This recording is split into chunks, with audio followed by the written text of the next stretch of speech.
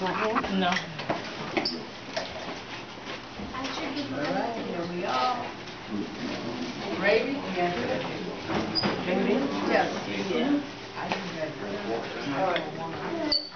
Want some stuff in them? See, what they do each two years ago. Yes. Want some macaroni and cheese? Ham? Yeah, we got hands too. And baked ziti?